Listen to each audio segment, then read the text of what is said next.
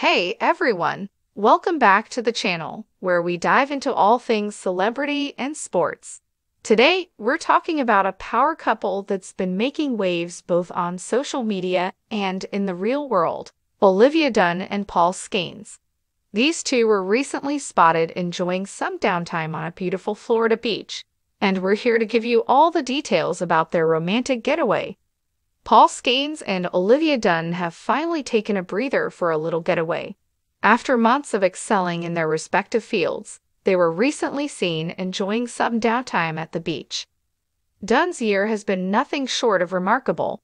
She helped lead LSU's gymnastics team to an NCAA championship win back in April and has since signed major NIL deals with brands such as Nautica and Passes. She also made waves by appearing in Sports Illustrated's 60th anniversary swimsuit edition.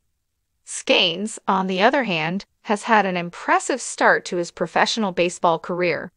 The Pittsburgh Pirates' top overall draft pick made a stellar MLB debut, putting him in the running for the NL Rookie of the Year. Recently, after catching a few football games, the couple decided to jet off to Florida they were spotted landing at West Palm Beach International Airport, and soon after, Dunne shared snaps of their time at Jupiter Beach, showing the two enjoying the sun and sand. Despite the excitement of the MLB playoffs, Skenes hasn't been attending postseason games, but he's been a regular at LSU football matchups. Just last week, the duo was seen at a thrilling LSU versus Ole Miss game, which ended with an exciting overtime win for the Tigers. On Friday, Dunne shared photos from their visit to the Caesars Superdome, where they watched the New Orleans Saints take on the Denver Broncos in Week 7 of the NFL season.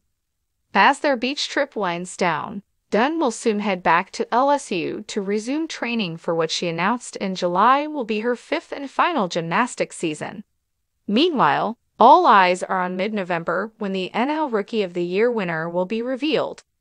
Skenes is one of the top contenders, and if the predictions are right, he's in a close race with Jackson Merrill for the honor. Please don't forget to like, comment, share, and subscribe to my YouTube channel, JaxceyN24. Thank you for watching.